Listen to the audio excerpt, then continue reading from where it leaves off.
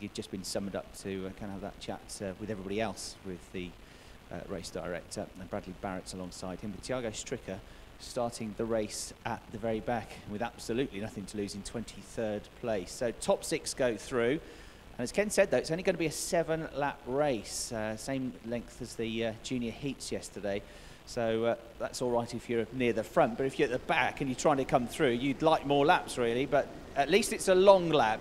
Here they come then, out onto the circuit, ready for a couple of formation laps. Somebody's had a spin by the looks of it, coming out onto the circuit. Just got going again, but uh, one car looked to me there on screen as if he'd uh, had a spin, got sideways, coming out onto the track on cold circuit on cold slick tyres. That's easily done, believe you me, with all the power that's being pushed through to the rear axle from these 125. It's Ayrton Simmons, engines. Chris. Was Ayrton it? Simmons, and uh, having to get some attention to that cart and uh, this may well be a start from the pit lane if indeed he's able to start at all. That's bad news for kart 40, Ayrton Simmons. Yeah, a, a, strong driver who's uh, just not been able to show us what he can do this weekend for one reason or another. And hopefully he can get it started. It wouldn't be a complete disaster if he uh, had to start from the uh, head of the pit lane because he uh, was near the back anyway. He's only going to be 18th on the grid, even if he starts where he's supposed to, of the 23 runners. So six will go through. And another spin across, uh, across Oh, there, yeah. Chris. We've got this time cart number 41, is that? Am I reading that correctly? Yes, It's uh, Artemi Kamarnok from Eastern Europe, but he's quickly got himself going again. Yeah, it has. One of the carts sounding very noisy out there. I wonder if somebody's got an exhaust problem. Not sure. There they come on to the second formation lap then. They're going pretty rapidly, as you can see on these formation laps. As you look on the screen at the grid again, just to remind you of who's starting where. They go pretty rapidly on these formation laps because they want to generate some heat. 35, I reckon it is, who sounds uh, really, really loud. Ido Cohen, it was one of the two cars at the back, but one of them is got some sort of exhaust issue. There's a really, really loud noise coming from the exhaust of one of those carts, and that might be a, become a, a big problem. I can't see it righting itself, so that's going to be a potential problem. Uh, if you've got uh, something wrong with the exhaust like that, then whichever driver it is uh, faces the potential of being uh, asked to leave the circuit, the technical disqualification flag. So starting to bunch up uh, together now. Generating the heat in the tyres and the brakes was the purpose of those very quick uh, formation laps. And there goes the noisy cart down into the hairpin at turn 10 just now there. So we'll see what happens. That cart's fairly near the back of the grid anyway. This is going to be a seven lap race. The pack just coming out of turn 11. This is down hill actually you can't really see that from the TV pictures but this is a downhill section it's the first sector of the lap which is really undulating really rises and falls but it's quite a quick downhill run through this flat out kink and then into this uh, hairpin it reminds me a little bit of uh, Shenington circuit that uh, that kink down into uh, a hairpin uh, where you've got the cart still at an angle as you're hitting the brakes for the slow corner. So potential overtaking spot there. But Ken ready to talk us through what should be an exciting race? Well, we've never had a dud second chance race yet. Will Tregurtha getting them away nicely and a good start by him and Daniel Luco also making a strong start from the inside of the second row. And uh, Opmeer having to battle a little bit to get in place well has done so well because Jarno Opmeer who was definitely alongside Daniel Luco in danger at one point of being just nudged a little bit out not suggesting Daniel was going to nudge him but you can run out of track quickly.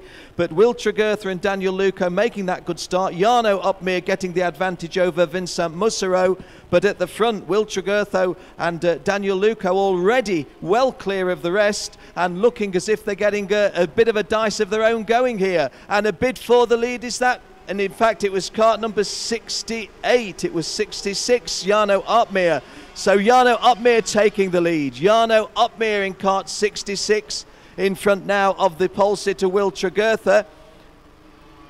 Don't uh, see where Daniel Luco is. I lost him on the look. Oh yes, still there, still there. No problem. Uh, and uh, just to say, Ken, a technical disqualification flag, the black and orange flag for Edo Cohen for that exhaust failure. Well, that's not exactly unexpected. It is a big disappointment for him, but not unexpected. Let me just get my bearings. Jarno Will Tregurtha and Daniel Luco was as we called it. Casper Corhus was fourth. Vincent Massaro fifth. Alexi Keskitalo was the driver going up into sixth place that I didn't read. So Keskitalo making a run of it. And of course, it's always significant if you're making a move up into sixth place. Remember, sixth place does take you through. And sixth and seventh on that. Uh, track there about, oh, what, 20 cart lengths behind the fifth place driver is the dice for the last qualifying position. Antoine Percival is the guy needing to make the move. He's in cart number 47 and 29 Colette Canard in front of him, the guy he needs to pass. Will Tregurtha sitting in second place, then behind race leader Jarno Opmeer, the Netherlander, coming down then into this run into turn 12. Will uh, looks like if he wanted to, he could have a go, but uh, it doesn't really matter too much whether you finish first or second or third or fourth or fifth or sixth, as long as you finish in the top six and you're in the grid uh, for the final. But if he feels he's being delayed and he feels that our other drivers coming onto his tail, I'm sure he'll uh, take the decision to try and move forward.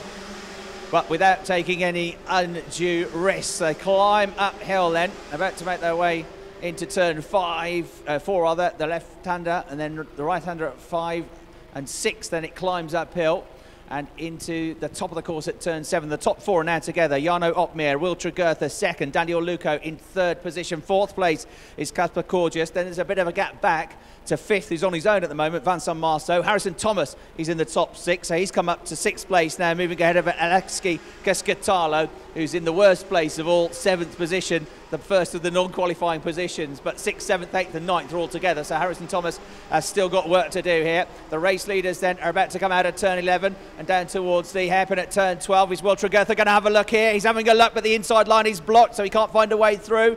There is an opportunity to turn 13 potentially, but no, the line is covered there, and he runs a little bit wide and trying to come up the inside of him is Daniel Luco, but Daniel backs off out of it, and that will cost Daniel some acceleration onto the straight. He looks over his shoulder, and the blue cart in fourth place, Casper Corgius, is going to have a go, is he? Yes, he is, and he gets up the inside. And Ken, that was all because uh, Daniel Luco had a go at Will Tregurtha. It didn't work. He had to get off the gas, and he cost him all the acceleration onto the straight, and that's why he's dropped to fourth place now as Corgius just drove past him it's what we say, isn't it? Uh, it's a seven lap race. You've got to go for the opportunities. If you're not in a qualifying position, you can miss out badly if you don't. However, it can be a worse miss if you throw yourself either out of a qualifying position or further back into a danger zone. As it is, little bit of a gap there with the cart number 31, Daniel Luco, and so that being the case, not having quite the same issues. Now, Harrison Thomas, who was the Welshman, cart number 45, and Alexi Keskitalo were having that dice for that last position to qualify. But Chris, you've got your eye on the front pairing. They're not just taking it easy, are they? They're definitely racing it for real. Harrison oh, and behind Thomas. them now, yeah, Harrison Thomas. That is the battle for fifth, sixth, seventh, and eighth. Therefore, two of four to get into a qualifying position. Harrison Three. Thomas just had a go at getting past Vincent Marceau and clipped his right rear tyre. It delayed both of them, but Harrison managed to keep the move held together. So Harrison got the fifth place. Alexei Keskitalo, uh, Zani Slavinsky, and Dicky van der Waal all managed to get ahead of Vincent Marceau. So Marceau loses four places as a result of that slight bit of contact on the way out of the hairpin at turn 12. Harrison Thomas uh, moving up to fifth, then Alexei Keskitalo, the Finnish driver, is in sixth place, the last of the qualifying places.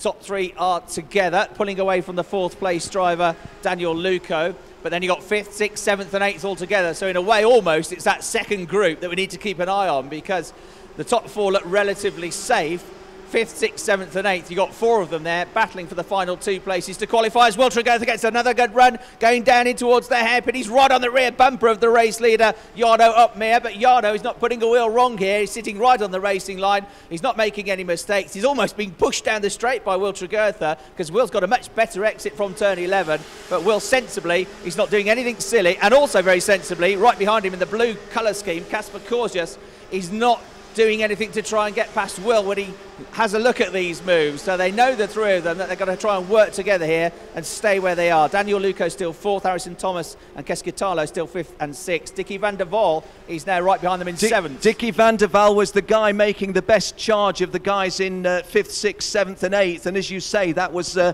a run of four at one time. But Dickie van der Val has made sure that he's having a clear run at the guy in front of him. One, two, three, four, five, six, and then the gap is only about all oh, five cart lengths. Dickie van der Val, the guy who was on the charge, although Dzianis Slavinsky also having something to say about that. Keskitalo's got a bit of a gap back though, hasn't he, from sixth to seventh? Yeah. So uh, half a second or so. It's a little bit more spread out between the top three this time, Dan. There's a lap and a half to go in this race. It'll probably feel like a very long lap and a half. Chris, we're in that strange situation where the only sensible strategy for the top six is to stop racing, just yeah. keep going quickly, but the racing brain sometimes kicks in. Going on to the final lap of the race and into turn one, they're almost home and dry. The top three, Jarno Opmeer still leads from Will who's right behind him, but not trying anything silly. Sensible drive this. Casper Corges He's just dropped two or three cart lengths behind them in third place. Fourth, fifth, and sixth are together, but they're all in qualifying positions. Luco, then Thomas, then Keskitalo. Dickie van der Wal is trying to catch them up. Last time around, Dickie didn't close the gap. He lost out by about three tenths of a second, but he started this lap very well. He's got an app, have an absolutely perfect lap, really, to try and catch up to them. So through onto the back straights, down towards the hairpin at turn 10 for the final time come the top three. There they are. Opmeer, Tregurtha, cautious. Luco in the blue colour scheme. There's an overtake there for fifth place as Keskitalo. Is that? Yes, Keskitalo going uh, past Harrison Thomas, but then Thomas got him back on the way out of the corner. So Thomas is still there. Tregurtha on the tail of the race leader on the way down into the hairpin. I thought he was going to have a go, but he doesn't. So he holds station. And uh, poor old Dickie van der Wal can't quite catch them up, Ken. Well, he's given a good show, hasn't he? But he's done enough so far. Nothing to be done silly now. Here comes the checkered flag, and your qualifiers are race winner Jarno Opmeer, second place Will Tregurtha, third place Casper Corhus, Fourth place, Harrison Thomas, been impressed with that drive. Alexi Keskitalo getting the advantage over Daniel Luco, but it was the unlucky flying Dutchman Dickie van der Val to finish in what Chris described as the worst place in the world at the end of a second chance race. That's seventh place. Ziania Slavinsky gave us a good race, and he's unlucky to see that he'll go no further in the competition. Vincent Massaro ninth, and Jonathan Hoggard completing the top 10. But congratulations to those guys that have made it into the finals proper, led by race winner Jarno Opmeer. And unfortunately, we have to bid farewell to the others.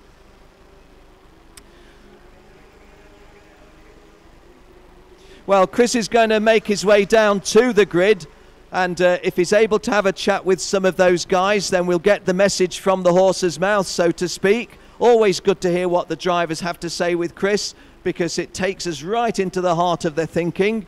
And uh, in the cases of the second chance racers, it's always a situation where there's nothing to lose in giving it everything you've got.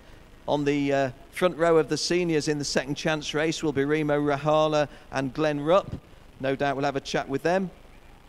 But confirmation again on screen. The junior second chance heat race Jarno Opmeer wins it. Will Tregurtha qualifies in second place. Casper Corhus in third place. Harrison Thomas in fourth. Alexi Keskitalo in fifth. And Daniel Luco in sixth place. Sadly, we have to bid farewell to the rest of the guys, but please do stay with us. And we'll go down now to Chris in the paddock, see who he can have a chat with. Thanks very much, Ken. Yeah, just making my way uh, through the network of uh, passages and gates through the scrutineering area to try